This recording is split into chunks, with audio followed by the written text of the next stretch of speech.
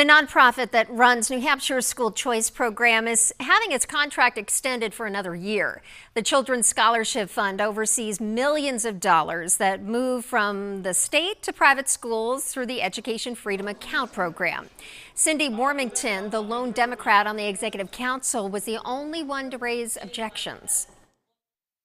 Well, they get a certain percentage. I think it's 10% of everything that they take, which is a significant administration fee, and those are fee, those are funds that should be going to our public schools. The thinking that this is all public money and the, it's the only way to educate a child, then then you pro we'll put our kids against uh, public school kids any day um, with Educational Freedoms account. They excel.